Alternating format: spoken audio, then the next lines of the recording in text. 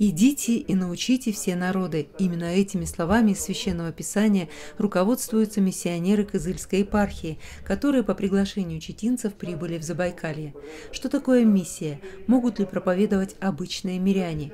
Формы, методы и плоды миссионерской работы. Эти темы рассматривались на двухдневном семинаре. Среди слушателей собрались прихожане храмов, волонтеры, сотрудники миссионерского и молодежного отдела в Читинской епархии. Особое внимание было уделено квартире квартирной и уличной миссии, то есть православной проповеди не в храмах, а на улицах и в квартирах жителей.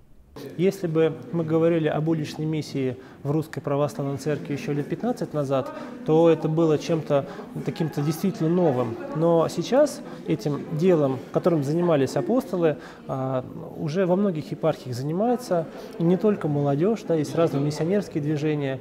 И уже это, скажем так, в Москве уже а, этот стереотип разрушен. Вот, и в некоторых других епархиях разрушен. Поэтому, мне кажется, это дело времени. Мы сеем только лишь, а плоды – это регулярность нашего дела. Есть определенные проблемы, можно сделать какую-то акцию, один раз ходить, два раза ходить, но чтобы регулярно этим заниматься, а, нужно прикладывать очень много усилий, трудов, а, нужно вести регулярную церковную, духовную жизнь напряженную.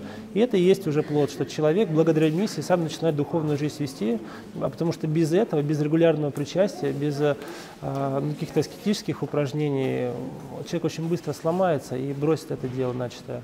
Кызыльские миссионеры несут Слово Божие в Республике Тува уже пять лет. За это время накопили богатый опыт, который оказался интересен начинающим проповедникам Забайкалья. Таким переломным моментом в миссии в Туве было создание такой тувинской общины группы а, внутри храма, да, внутри собора, благодаря которой тувинцы уже, которые а, приходили в храм, не ассоциировали православие с чем-то русским, да, то есть они видели, что есть, оказывается, их соотечественники православные, и поэтому уже а, по-другому воспринимали это. Ну, какая-нибудь тувинская бабушка, ну, взяла и привела людей ко Христу, пока образованные люди собирают конференции. Вот в этом и, понимаете, живость послания апостола Павла говорит, что Бог избрал не мудрое мира, чтобы посрамить мудрое. Апостол говорит, посмотрите на себя, кто вы, много ли из вас мудрых? Нет. Миссионеры – это простые люди. Как заговорить с незнакомым человеком? Что говорить крещенному, а что не крещенному? Такие практические вопросы интересовали читинцев.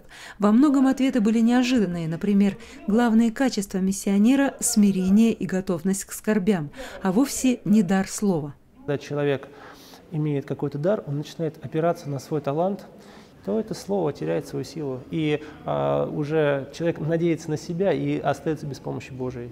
После первых лекций миссионеры сразу решили попробовать себя на практике. И как христовые апостолы, распределившись подвое, отправились к людям проповедовать по квартирам и на улице. На второй встрече делились мнениями, обсуждали итоги этого практического занятия. А забайкальцы пригласили гостей поучаствовать в акции «Ночь в храме», которая проходит второй год и включает экскурсию по кафедральному собору, собору, ночную божественную литургию и беседу за трапезой. Два дня общения оказались очень плодотворными и насыщенными для миссионеров обеих епархий, и без сомнения сотрудничество будет продолжаться. Студия слова Забайкальской митрополии.